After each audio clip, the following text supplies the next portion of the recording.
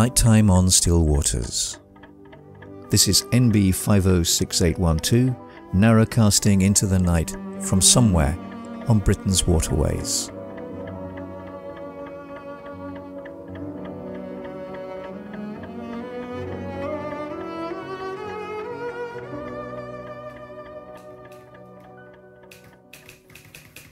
Twentieth of September, Friday. Hanging at the still point between summer and winter swing and counter swing, rooks roister joyously westwards, red with promise. Above them, fourteen successive straggles of geese head eastwards, flying on swift wing beats against the grain of the day.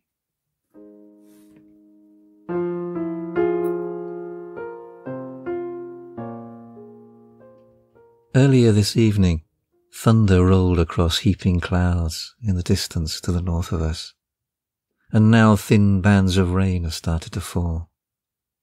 And the forecasts warn that it's set to get heavier as the night grows old. The wind's getting up too, buffeting the boat and making the mooring lines and fenders creak. This is the narrowboat Erica narrowcasting into the darkness of a warm, wet, equinoctial September night, to you, wherever you are. It's lovely to have you here. I'm so glad that you could make it. It's warm and dry inside here, so come aboard and make yourself at home.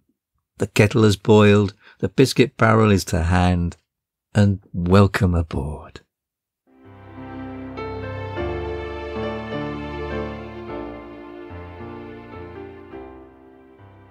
According to the old almanacs, today was St. Matthew's Day. Not a lot seems to happen on St. Matthew's Day. Poor old St. Matthew. As our old friend Miles Hadfield's An English Almanac succinctly says, English tradition seems not to have accumulated around him. Added to which, Godfrey Baseley's A Country Compendium's brief little entry simply states, it's not known how or where St. Matthew died. And then adds two rather singular pieces of country lore. St. Matthew shuts up the bees, and St. Matthew brings the cold rain and dew. Well, that's certainly true today. Although I'm not so convinced about bringing the rain as just giving it a thumbs up sign and instructing to just carry on. And I suppose as far as the English almanac goes, it's St. Michael or Michaelmas that falls at the end of the month on the 29th that actually seems to hold a far firmer grip on our calendars and our law.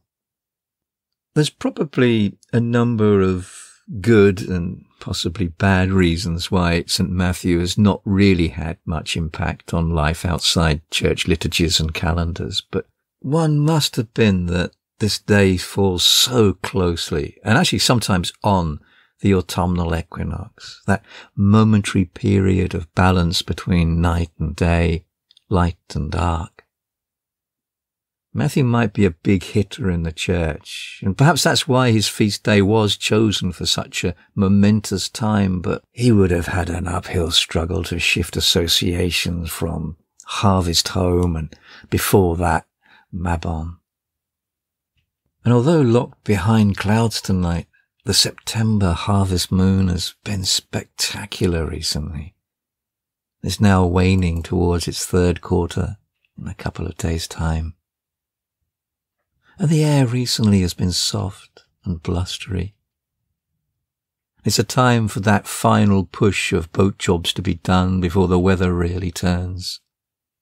Grabbing advantage of a few days of fine to slap on some paint or sort out those little outdoor jobs that you were going to do all summer, but somehow never got around to doing it. It's a hive of industry around here. And hopefully we have a few more weeks window left. And that short lull following the summer holiday traffic has given way to a new wave of boat traffic. Boats beginning to head slowly home to winter moorings, also those heading out to enjoy what many boaters feel is the best season on the canal, autumn. My summers are great, but a boat really comes into its own when conditions call for something a little cozier. The towpath and canal sides are even now beginning to warm with the festive colours of autumn fire. The soft candy floss fluff of old man's beard is beginning to thicken, and the elephantine leaves of burdock are withering down into desiccated crumples of brown parchment. So too are the leaves of black bryony, leaving thick necklaces of cherry red berries that hang in looping garlands over a chaos of bramble tangle, elder and hawthorn and thick trains of ivy. And haws of an impossible red begin to fall, scattering underfoot where twig and trampled plucked blackberry lie. It's been a great year for blackberries. And even now, great fistfuls hang heavy on branches just out of reach. And for those with a sweet tooth, Gather ye blackberries while ye may, for come Michaelmas, the devil will stamp on them, or spit on them, or even pee on them, depending on your locality or taste in lore. And the dog rose lamps are being lit, turning from their first blush of watery orange to scarlet, then pillar box red, and then to the deepest of crimson lake. It's a bit too early for the trees to turn yet. Although a small hazel, dwarfed by the canal side alder and ancient oak, is beginning to lighten and yellow. And all along the bankside lies the trail of willow herb smoke. And the rooks and jackdaws are gathering once more, raining the clamour of their black blizzard lives upon the ash and oak that overhang the canal and so too are the geese. In fact, it's been a while since I've seen so many of them around here. The half light of dawn and dusk is filled with their wild song, and line upon line of them, like lapping waves on the flood tide, threading their paths in loose V formations, sometimes breaking to form new formations. And even Maggie pauses from whatever she's doing and looks upwards. The sound on the wind of autumn.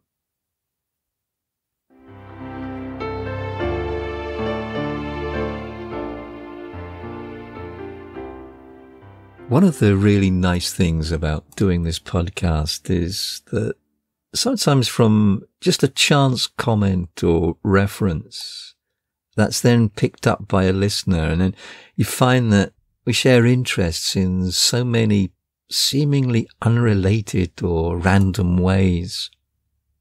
And I was thinking of this earlier when I stumbled across a quote that's attributed to Albert Camus, and I hadn't come across it before.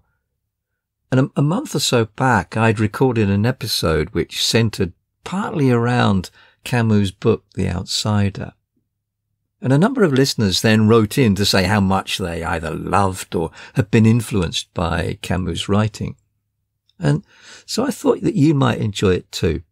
Now, I have to caveat this by saying that I've not been able to source the precise quotation and internet memes are notorious for their habit of misattributing quotations. So all I can say is that this is attributed to Albert Camus. Autumn is a second spring when every leaf is a flower. I think particularly Lee Thomas and Linda Aubrey, I think he might appreciate that. And I want to give a really big thank you. Well, two thank yous, in fact, to Tania Yorgey and of course her dog Taki who's all the way across the globe in Australia. Thank you, Tania, for such a wonderful review. I really appreciated your really kind words. But not also that, but also for becoming a lock wheeler. So thank you so much, Tania. And the warmest wishes for your continued travels and explorations in your van in which you live. And hello also to Sean Warwick. Thank you, Sean. It's always really nice and interesting to hear about how people have found us.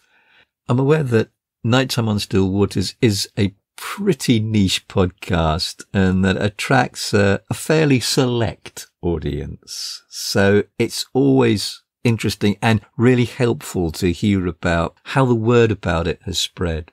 So, so thank you.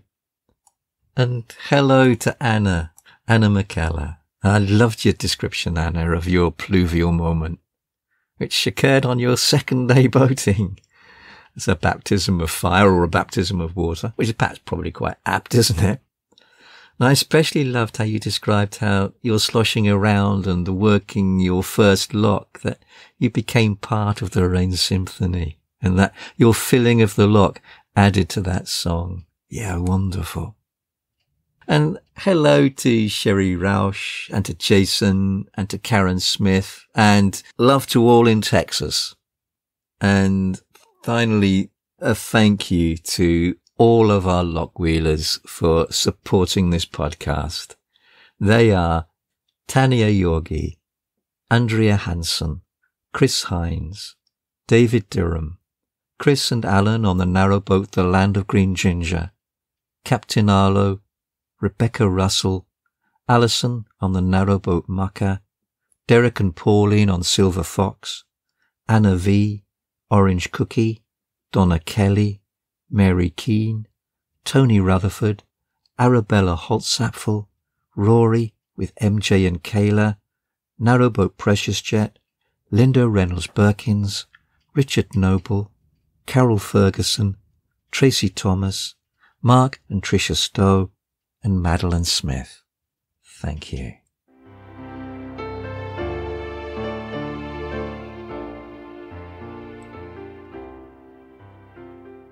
I'm lying in bed as the night fractures and rages around me.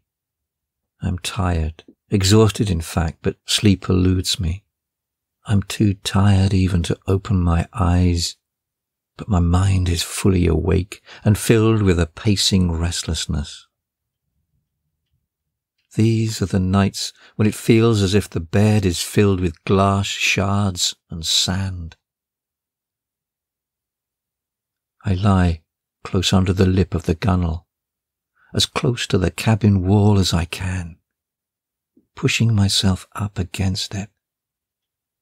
Partly to avoid waking Donna with my restlessness, and partly because I can almost feel the cold of outside air. The dew that even now is falling, purling the mooring lines, trickling like raindrops down the cabin sides.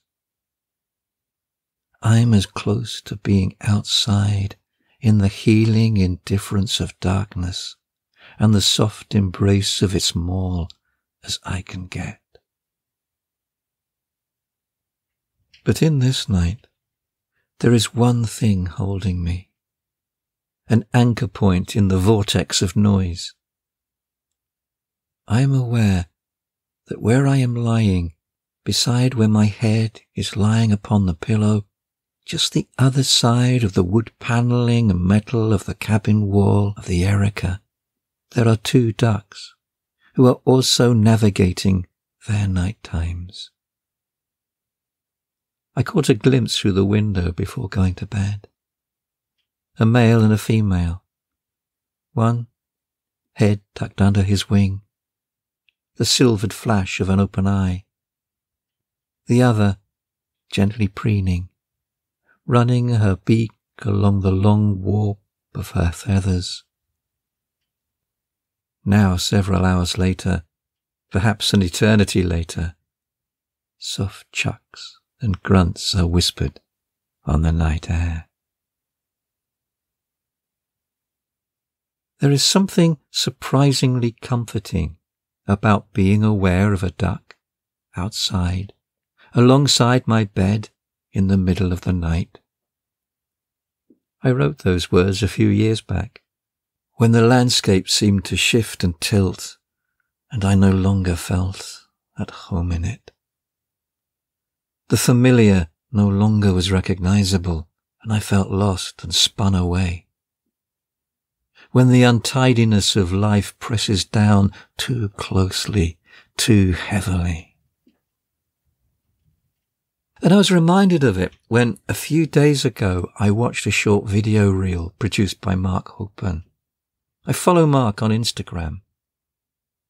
He's an interesting man, and there's something vulnerably human about him, and yet very inspiring too. He lives off grid with his high spirited dog as a recluse on an island in Lake Kipawa, Quebec, Canada. And he's dying with late stage Parkinson's, the effects of which have made surviving the brutality of Canada's last few winters difficult, to say the least. And Mark acknowledges that he won't be able to survive this coming winter and is planning to move off the island. And his short 10 to 20 second videos, reels, are unvarnished, searingly honest, yet funny, clever, often insightful, and very humane. As he charts the final phase of his life within a sometimes starkly beautiful landscape. And a couple of weeks ago, he posted a reel of him standing on the wooden jetty of his cabin and feeding a duck. As he explained, I would often see old people feeding bodes. Never understood why. But now, as my brain deteriorates, you get a tremendous calming factor from feeding birds, feeding ducks. Now I'm becoming an old man, feeding the ducks on a bench in the park and I am enjoying it. And hearing that, I immediately felt for my little notebook that I always keep with me in my pocket. I didn't even need to open it, for I could remember word for word what I had written all those months, perhaps years back. There's something surprisingly comforting about. And it's true. There is something that calms the turmoil, that consoles the sweeping winds of sadness in ducks. Yet you can get that from feeding any bird, I guess, as Mark says, or even animal, but it seems somehow more pronounced with ducks. There's something singular about them. And the power of Mark's words lay in that image of a man in a red checked flannel shirt, crouching down on a wooden jetty, and a lone duck taking oats from his shaking hands. Now, I guess it would have worked well if it had been a blackbird or a robin, but perhaps not worked quite so powerfully. A man battling with his loneliness. He had had to let his dog stay with neighbours, and it was something that he openly admitted that he was finding difficult coping with. Added to which the struggles with his rapidly deteriorating, misfiring brain. And a lone duck. And it made it such a haunting and yet profoundly moving image. And perhaps we subconsciously feel a kinship with ducks. We're both caught between the wild and the domestic.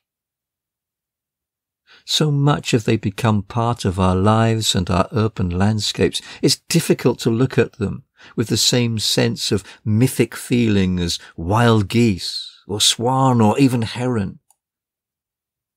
Geese and swan are our muse for wildness, and our restless hearts that long for the uncluttered and unfettered life.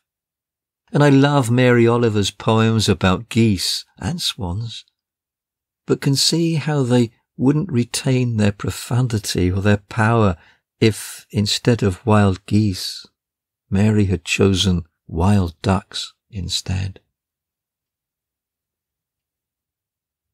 And around this time of year, I love to stand and watch that victory plough of geese formations straggling across the darkening sky of roiling clouds, or the aching wing song of a swan in flight.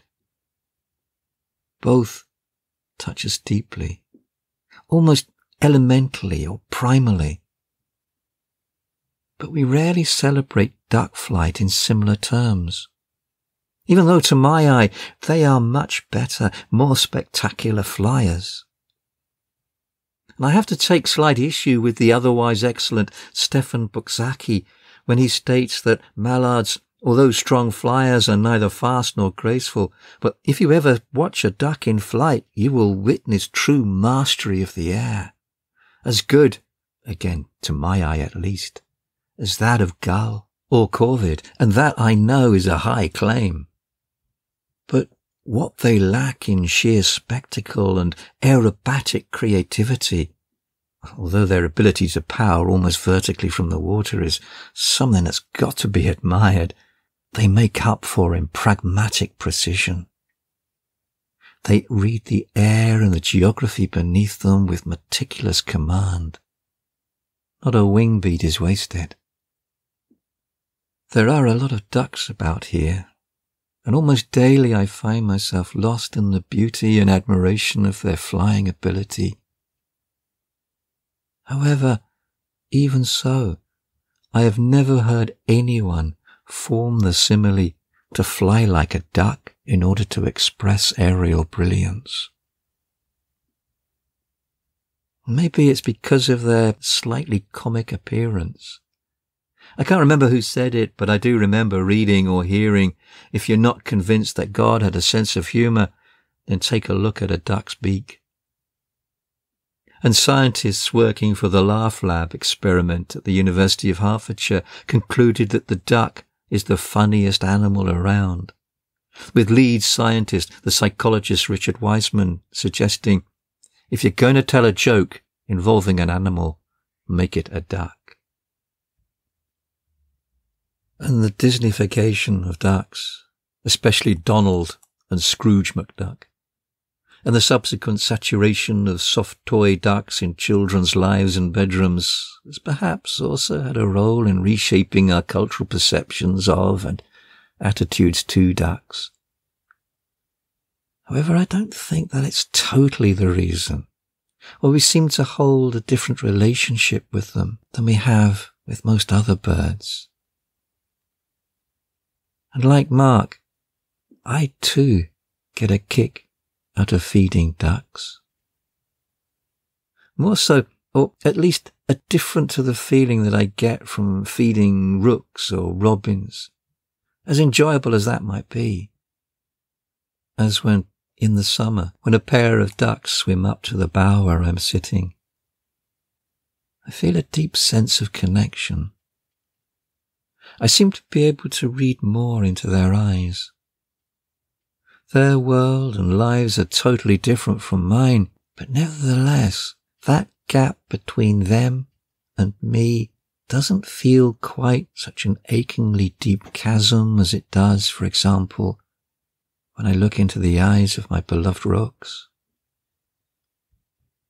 And there is, or was, a very different feeling that I experienced on that night, knowing that alongside my head, just the other side of the wood-clad metal walls, there were two ducks nestling into the night, than if it were, say, two coots or swans. And ducks are no less and no more aggressive than any other birds, but there is something friendly, companionable about them there's something about them that raises a smile whenever they appear. And It's therefore so puzzling to me as to why they get such a bad rap in the literature about them. They rarely get any attention from scientific studies, and when they are mentioned, it's usually attended by some highly anthropomorphized moral outrage and invective lambasting their promiscuity or sexual behavior. I'm not sure why such censure has been so heaped upon ducks, more so than any other bird. Perhaps it's that we subconsciously feel this attachment. We want them to be better than us. It's also a little surprising because traditionally, and is still in the case in other cultures, that ducks symbolize fidelity, family, community, motherhood, grounding, trust. And so I don't know whether it's anthropomorphic sentimentalism to describe their clucks and chuntering as they respond to food, as the sounds of joy. That ducks feel pleasure when they forage. Is it just another Disneyfication that denudes the duck of her real, lived existence? But I've seen their response to the sun's warmth and it looks pretty much the same as mine and yours. And I have seen them swim out through the sunrises of mist and crystal frosts, and cluster and chatter around the first patch of water clear of ice following a hard winter's night, chattering together, dipping in and out of the water, taking turns. And according to Jennifer Ackerman's book, The Bird Way, a new look at how birds talk, work, play, parent, and think. Ducks are known for doing something called coordinated loafing, hanging out together. Coordinated loafing. It's something that I've frequently noticed. A companion will bob and drift with the currents, such as they are, in loose groups, often accompanied with the sorts of chortles and clucking vocalizations. I just hadn't realized that there was a proper term for it. And what is going on in those little groups? Afloat together under the great bowl of sky and the arch of oak and ash, how are they experiencing these moments? What are they feeling?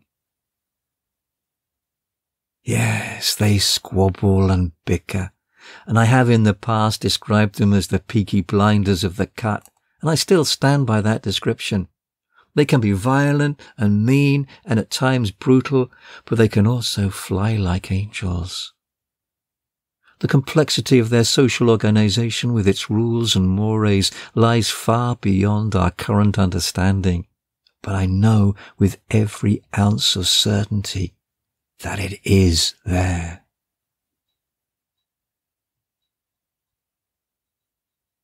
Soon after I had left school and had started work, and I was feeling my way through the hinterlands of adolescence and adulthood, I had an argument with God.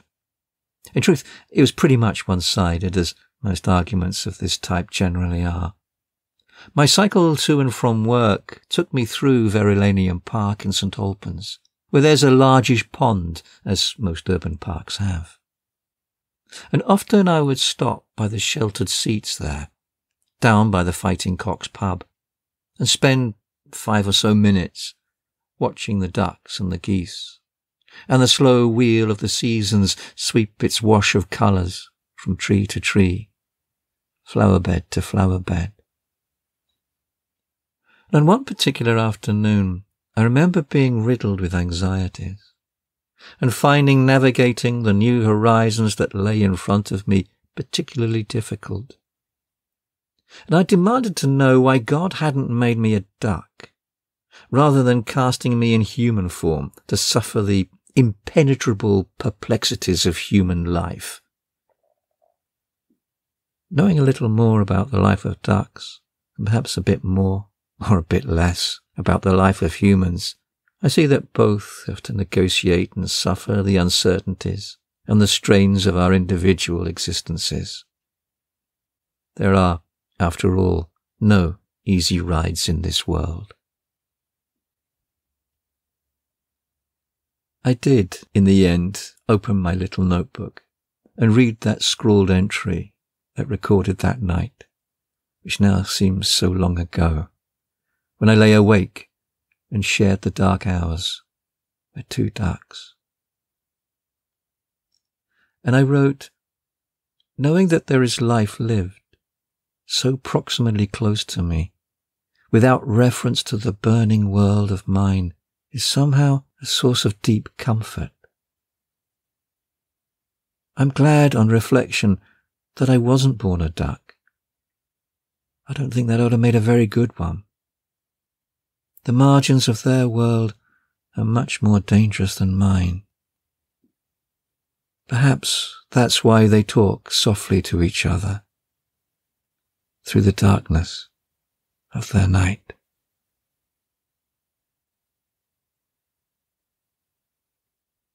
And this is the narrowboat Erica signing off for the night and wishing you a very restful peaceful night. Good night. Temperature outside 14.6 degrees. Inside 13 degrees. Humidity 92%. Dew point 13 degrees. Wind direction north northeast. Wind strength 7 miles per hour. Barometric pressure 1016.6 rising. Cloud cover 96%. Cloud ceiling 4,400 feet. Precipitation 2.52 millimeters. Moon phase 80%, waning gibbous. Day length 12 hours 15 minutes.